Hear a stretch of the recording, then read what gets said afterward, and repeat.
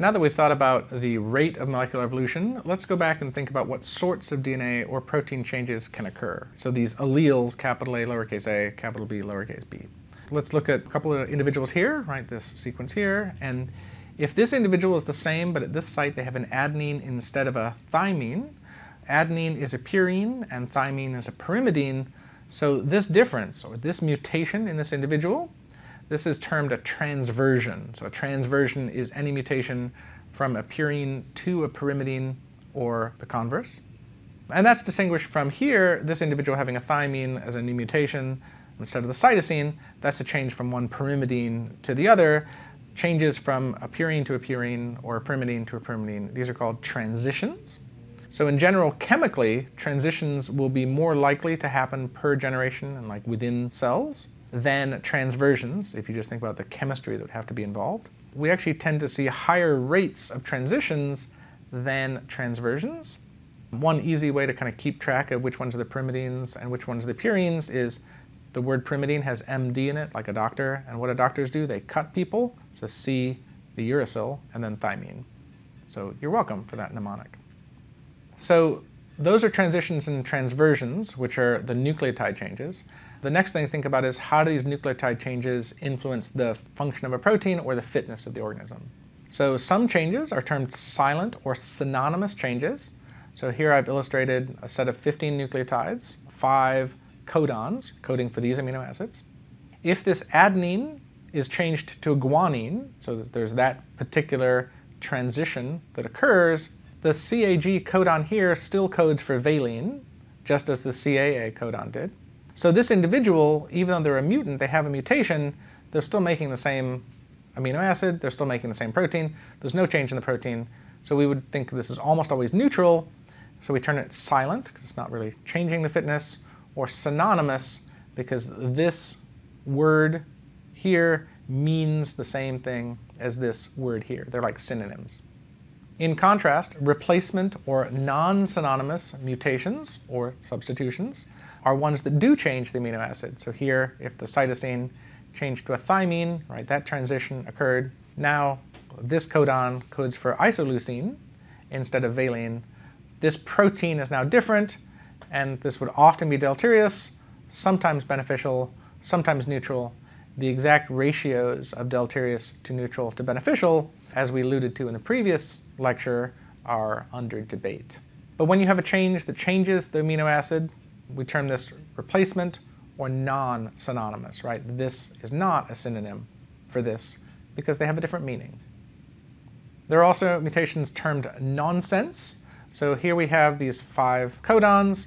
If you have a mutation here, this adenine changing to a thymine, ACT no longer codes for cysteine or in fact any amino acid. That's one of the, the three stop codons. So during translation, as the cell machinery is scanning through these nucleotides, instead of continuing to produce a protein, it would actually stop right there. So your protein, however long it was here, would be truncated right there. The protein would be a lot smaller, and so this would almost always be deleterious that's why we term it nonsense, because it kind of doesn't make any sense, right? You've totally changed the protein and almost certainly gotten a non-functional one. There are always exceptions. There are some cases where nonsense substitutions seem to have resulted in functional proteins, but almost always this is going to be deleterious. A fourth type of genetic mutation is an insertion or deletion event, often called an indel, because if we're just comparing two species, we often can't tell whether there was an insertion or a deletion. So the way this works is we've got our 15 nucleotides, and then right here between the guanine and adenine, if there's an inserted thymine, that kind of shifts these nucleotides over. This codon, instead of being ACA, is shifted over the A, the C, and then the A is now in the next codon. TAC is a brand new codon, essentially. And so the protein goes from being valine, alanine, glycine, cysteine, serine to valine, alanine, glycine, methionine, phenylalanine, etc. And in fact, the rest of these are basically all randomized. By shifting these nucleotides over, you're essentially randomizing the remaining amino acids because these codons are all now completely different. This is called a frame shift. The reading frame has been shifted by one nucleotide. And this will almost always be deleterious because the amino acids that had been there doing whatever functions they are, they're now all randomly changed to new ones. You would definitely expect this to almost always be bad for the protein. And again, with indels, we often don't know whether they are insertions or deletions unless we have more than two taxa. Another type of mutation that occurs in the genome arises from things called microsatellites. Microsatellites are short, repeated DNA sequences. So imagine we're looking at this individual here. They are a homozygote, and they have five of these AT repeats. And we're going to focus on how many repeats they have in this region. If you had an unequal recombination event, and now let's track this cytosine is on this chromosome, this adenine is here. During recombination, if you have an unequal recombination event, you can in fact cause the 5 and 5 to become 4 and 6. So for example, you have a break like right, right there, you could now get a brand new allele and a second brand new allele just from recombination. And because these sequences are very repetitive, they often line up wrong during recombination.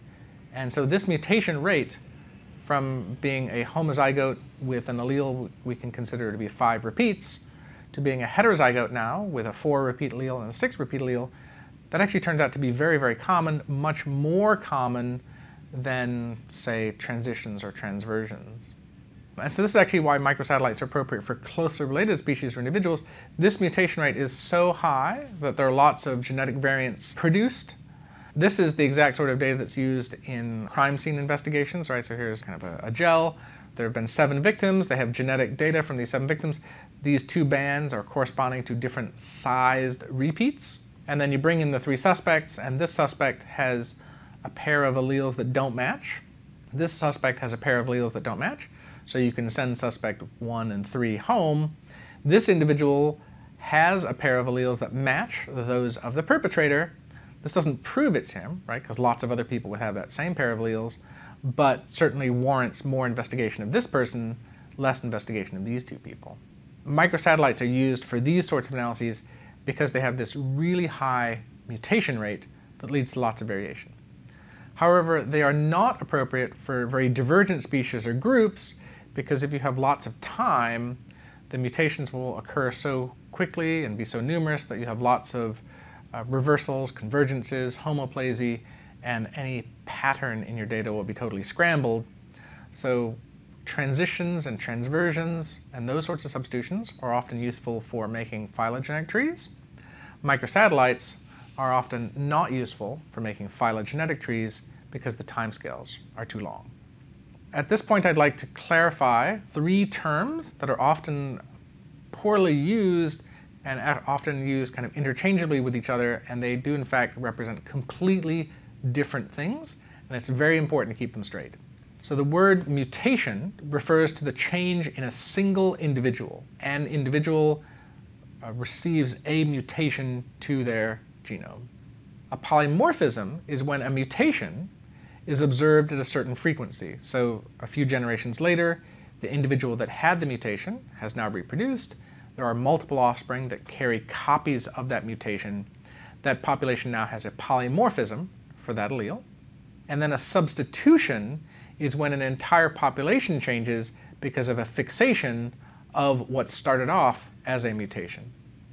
For wild type alleles and populations to change over time, there has to be a mutation in a single individual that then becomes a polymorphism of the population, and then when it fixes, that is now a substitution. And I point this out because many people use these terms kind of interchangeably and without being very precise about their language. We should not use the term mutation if we're thinking about a population before and after a change where all the individuals have now changed, right? Because that actually causes us to have a misconception that all the individuals have mutated together or something. Mutations happen in individuals. If they increase in frequency, they become polymorphisms. If the allele fixes and now everybody has a copy of that new allele, we say that that allele has become a substitution. So what influences rates of substitution, right? These actual rates that we were looking at in the previous video, in fact. Well, first of all, the mutation rate was a big part of this. So microsatellite repeat number change would be very fast because the mutation rate is very high. Nucleotide substitutions, transitions would have faster rates of substitution than transversions because their mutation rate is higher. Nucleotide changes that affect amino acids, oh. we would expect them to be fixed or substitute slower than ones that don't because they'll more often be deleterious and selected against. So even though the mutations will occur just as often, the substitutions would be less frequent. Junk DNA or intergenic sequences change faster than coding regions because mutations in there are more likely to be neutral and therefore can fix by drift as opposed to being deleterious and prevented from fixing due to selection. Introns, um, we see changing faster than exons. The rate of substitution in introns is higher than the rate of substitution in exons for the exact same reason as we see it for intergenic distances.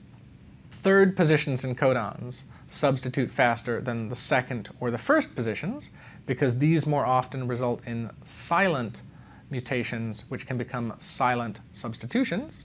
And in general, silent and synonymous, remember these are the ones where the amino acid has not changed, silent or synonymous substitutions will be faster than replacement or non-synonymous substitutions. When we look at amino acid substitutions, where the amino acid is changed, right, so non-synonymous nucleotide substitutions result in amino acid substitutions. Uh, these will be more rare than nucleotide substitutions, right? The non-synonymous rate is lower than the synonymous rate. And in fact, some of these may be more or less likely than others. We can think about starting from this codon, mutation here would cause a change in an amino acid from hydrophobic isoleucine to hydrophobic leucine. They're about the same size, they have about the same chemical properties. You would expect the protein to be not changed that much. We term this a conservative substitution when there's little change in the charge or size of the amino acid. In contrast, starting from this same codon, if you have a mutation in the second position to the cytosine here, now the hydrophobic isoleucine would be replaced with a hydrophilic arginine, which is also larger. That's going to have a much bigger effect on the protein that that mutation or substitution occurs in. And we term this a radical substitution when there's a large change in the charge or the size of an amino acid and we would totally expect conservative substitutions to occur much more frequently than radical substitutions because although the mutations that are conservative or the mutations that are radical probably happen at roughly equal amounts, selection against these will probably not be as strong as selection against these, which will result in higher substitution rates for conservative rather than radical. And then finally, all genes are equal, but some genes are more equal than others, there's differences in the functional importance of genes. So observations when we compare sequences have shown that the fastest evolving genes are the ones that have many copies that do similar tasks, so redundant genes. So where selection on one of those copies is maybe not as strong as for situations in which the gene only has a single locus that's doing a function. If you have lots of different copies that are all very similar, a mutation in one of those is unlikely to be selected against um, that strongly. So for example, olfactory receptor genes, we have lots of different genes that allow us to smell lots of different things, or the major histocompatibility complex genes, right? Lots of different loci that result in the production of different types of antibodies. Lots of different copies, all very similar, and then we actually see higher rates of substitution in these loci than we do in lots of other loci that only have single copies. So these, this redundancy may make some genes less deleterious when they're changed, or if we think about how these things actually influence fitness, sometimes change may be favored just to increase diversity, right? Being able to smell more things, being able to bind to more antigens. And the slowest changing genes, when we look at substitutions, are fundamentally important ones like histones. If you think about histones, those proteins are what the chromosomes kind of wrap around, and a change at a histone protein would influence the structure and stability of all the DNA in every single nucleus in every single cell, and that's a huge effect on an organism. So we would expect virtually every single amino acid mutation, even maybe minor ones, to be deleterious because the DNA is physically in contact with a large proportion of that protein. And in fact, we see very, very low rates of substitution for histones versus very high rates of substitution for olfactory receptor genes. So when we think about the rates of molecular evolution, we have a continuum from microsatellite repeat numbers, which change very, very quickly, even between individuals in generations, all the way to different types of genes where redundant genes change faster than unique or important genes, and these things may go unchanged for tens or hundreds of millions of years. And then a whole continuum in between. And so which one of these you use to study the evolutionary process depends on the time scale you're interested in. If you're interested in variation within a population in just a few generations, this is appropriate. If you're interested in making phylogenies for closely related species, these are appropriate. Phylogenies for more distantly related species, in order to reduce the amount of homoplasy, these then become more appropriate. So when we're doing molecular evolution and pursuing this work, there are a lot of different factors to keep in mind that will guide us towards using the appropriate type of data to answer the question that we have.